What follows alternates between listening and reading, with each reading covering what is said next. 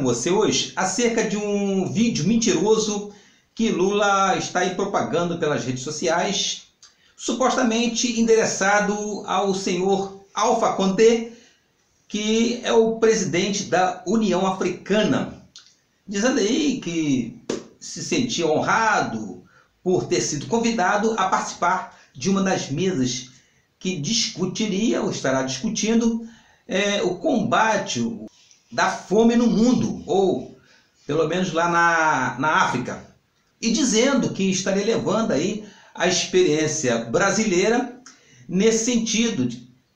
Que experiência? Que experiência ele vai levar?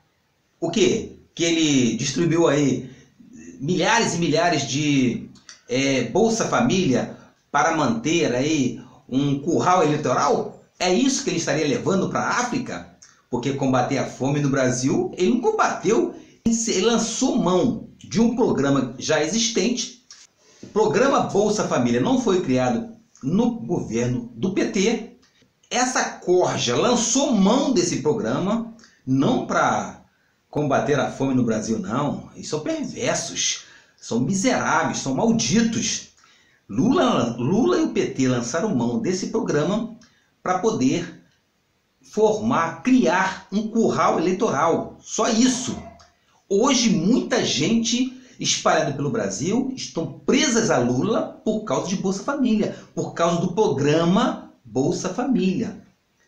Então que experiência, que experiência esse canalha, esse mentiroso comunista ditador iria levar para a África? Se é que se é que realmente ele foi convidado, porque há rumores de que Lula não foi convidado por toca nenhuma. E outra, pela atitude do Ministério Público Federal e da Justiça de Brasília ter proibido esse condenado viajar para a África, há realmente indício de que ele estaria indo para lá para pedir asilo em um desses países onde ele mandou dinheiro, mandou muito.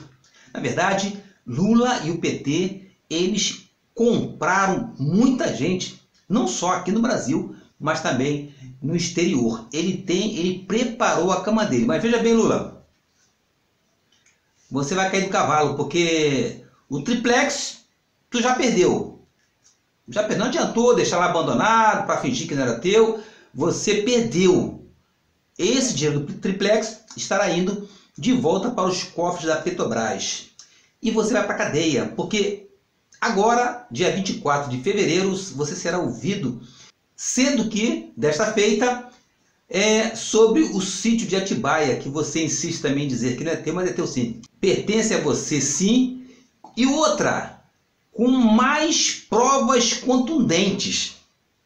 Se o triplex, a justiça conseguiu comprovar que era teu, no sítio de Atibaia, será muito mais fácil provar, porque, pelo que eu já pude ver, a justiça já está debruçada em muitas provas e você será condenado de novo. Então, Lula, você está acabado. Lula está acabado e o PT irá à bancarrota. Outra, logo logo Dilma também será outra condenada. Eu não sei porque a justiça ainda não lançou mão de botar para quebrar em cima dessa lada também, porque segundo o delator Nestor Severo. Primeiro que eu conheço a Dilma, eu fiquei muito cabreiro. Embora eu conheça a intimidade da, da Dilma com o Delcídio, se a Dilma gostasse tanto assim de mim, ela não tinha me sacaneado, desculpe a expressão, há um ano, quase dois anos atrás, quando fugiu da responsabilidade dizendo que tinha aprovado Passadina porque eu não tinha dado as informações completas me jogou no fogo, ignorou a, a, a, condição de amizade que existia, que eu acreditava que existia. Trabalhei junto com ela há 15 anos e preferiu, para livrar, porque estava em época de eleição, tinha que arrumar um Cristo. Então, ah, não, eu fui enganado. É mentira. É mentira. Eu estou dizendo que isso não faz muita importância para a homologação. Dilma sabia de tudo, o tempo todo. Certo. E, aliás, estatutariamente, estatutariamente, aí o senhor conhece bem, estatutariamente, a responsabilidade na Petrobras de aquisição de ativos pertence ao Conselho, do qual a Dilma é presidente.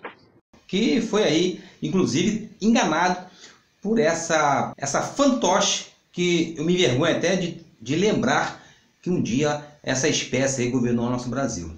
É assim que essa gente age. Eles são corruptos, são traidores, são infiéis e são, claro, comunistas. Fique com Deus, Deus te abençoe, Deus abençoe sua vida, sua saúde, seus projetos, seus sonhos, Deus abençoe sua família, Deus abençoe nosso Brasil.